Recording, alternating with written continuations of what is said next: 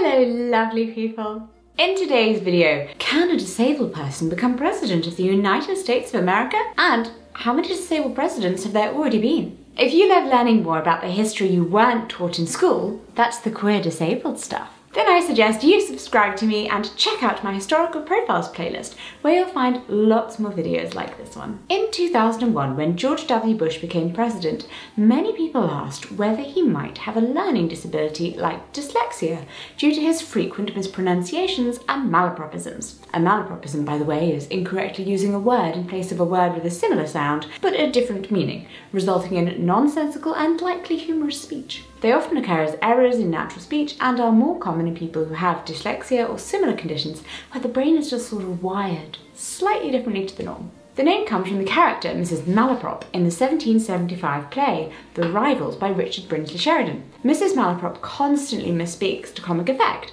by using words which don't have the meaning she intends, but sound similar to the one she's reaching for. Her name is referenced to the word malapropos, an adjective or adverb meaning inappropriate or inappropriately, derived from the French phrase mal à propos.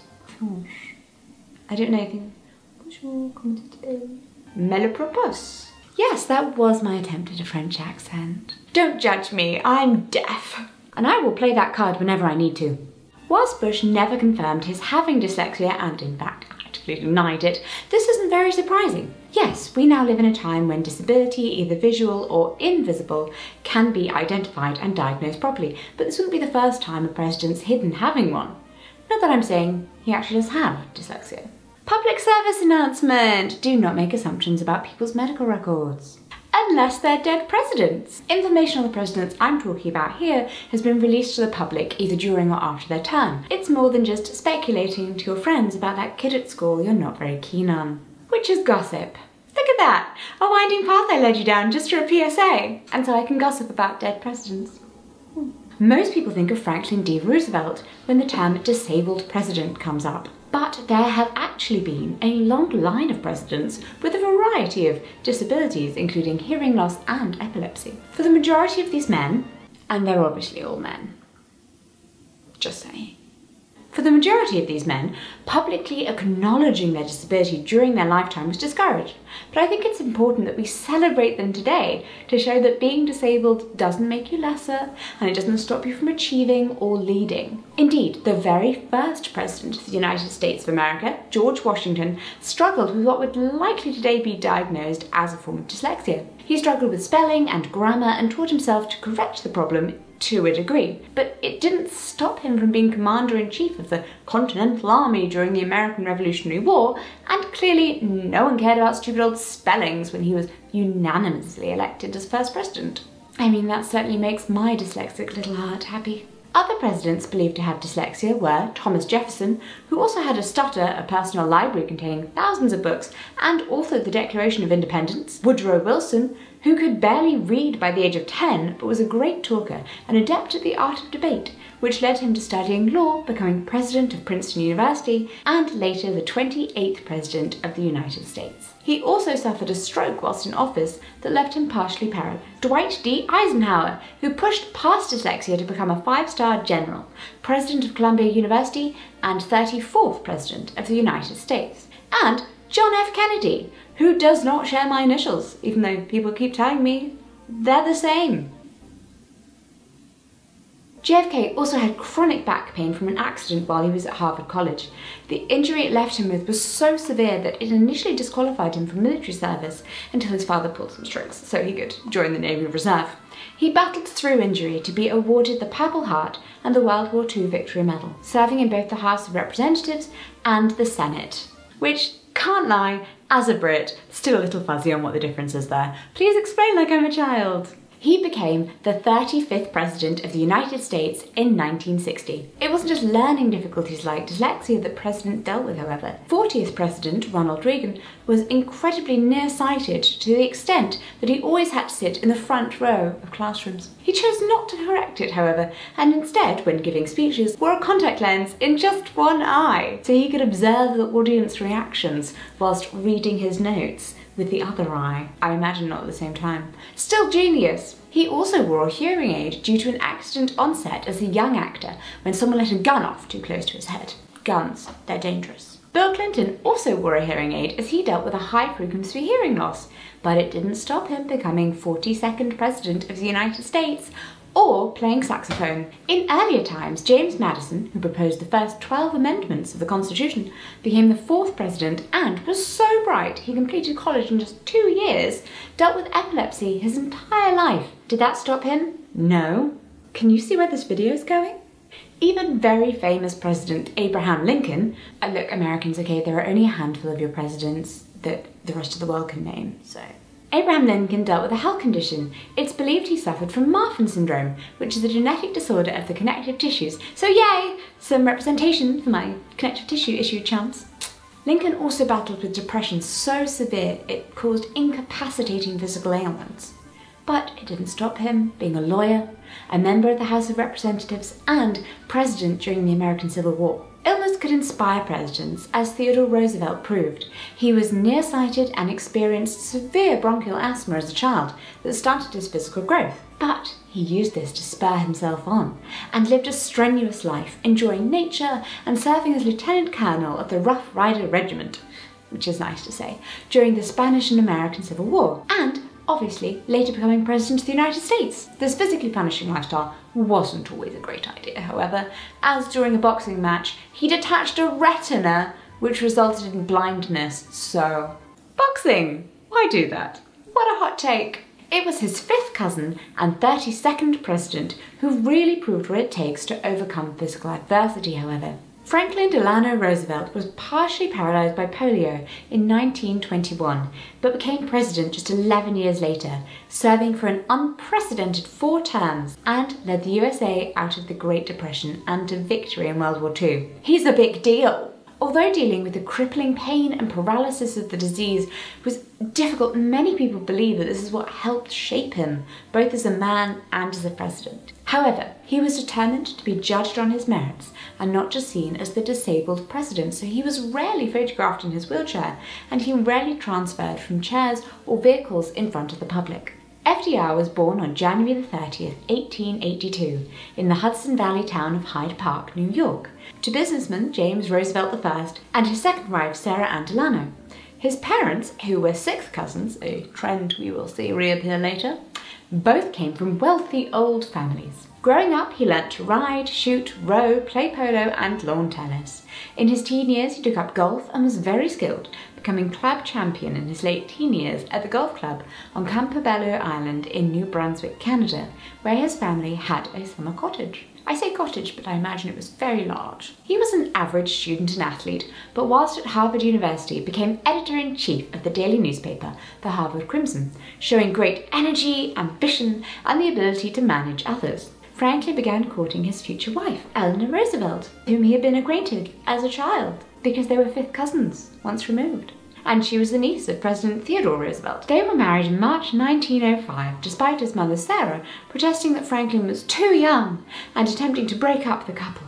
Although, I mean, she liked Eleanor well enough, she was fiercely possessive of her son and insisted that they move into the family estate with her after the wedding. She also, along with Franklin, planned, built and furnished a townhouse in New York City, with a twin house for herself right next door.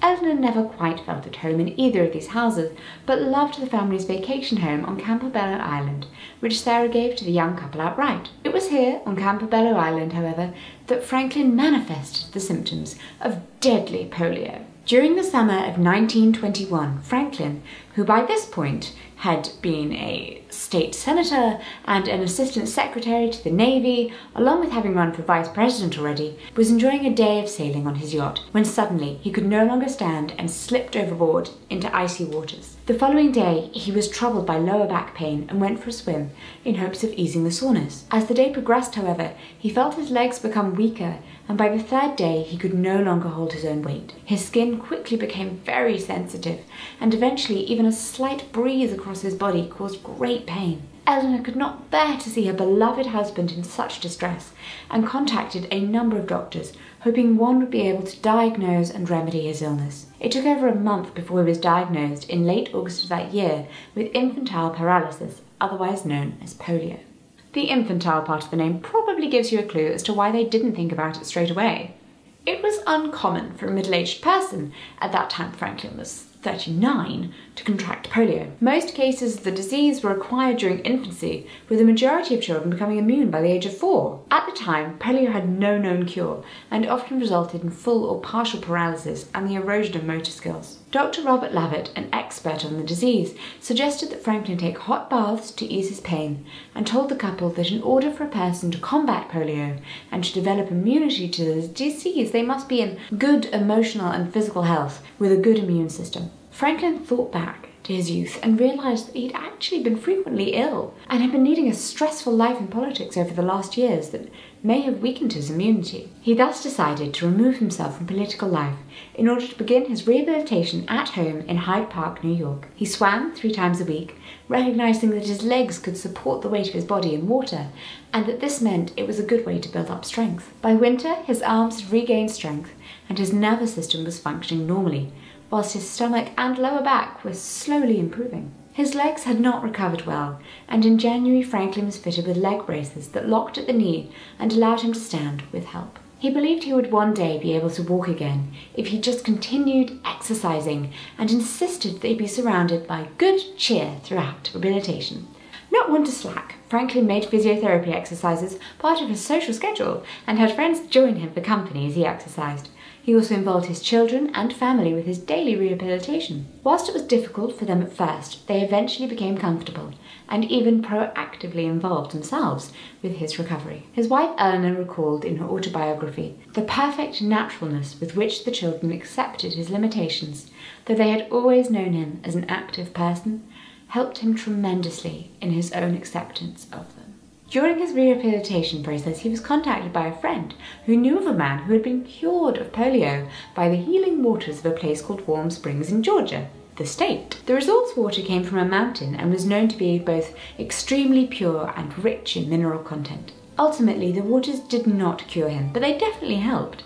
And when, in 1926, the resort was having financial issues, Franklin stepped in and bought the facility, transforming it into a rehabilitation centre for polio patients like himself. Although his efforts and exercises paid off, he remained semi-paraplegic. Despite his faith that he would one day walk again, he gave himself a personal ultimatum. He either needed to accept himself as he was and return to politics, or else give up his political dreams and push himself harder to recover. His stubborn confidence and belief that he could do more helping others by taking office, along with his wife's support, led him to resume his political career. His mother wasn't very pleased, but she probably wouldn't have been unless he was in a bubble of cotton wool and stuck firmly to her side. Although there were public rumours about his health and physical state, not many people knew what exactly had happened to FDR, and he was unsure as he made his way back into political life how the public would react to his disability. During the 1920s, disabled people were treated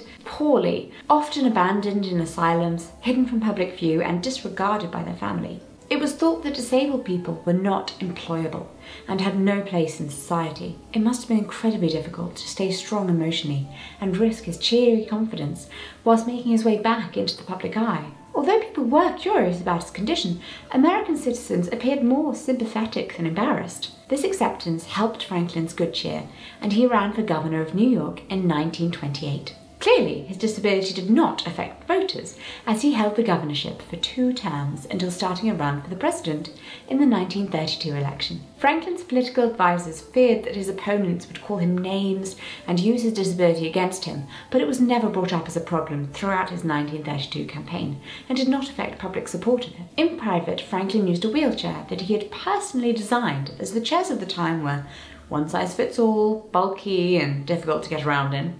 Ah, bringing back my NHS wheelchair memories. Buildings at the time were not generally wheelchair accessible because why would they be? They actively disliked disabled people being around. Therefore, Franklin needed something small, efficient, and discreet. He took a dining chair and added small bicycle wheels, backwards to the large wheels at the back and smaller wheels at the front that we see today.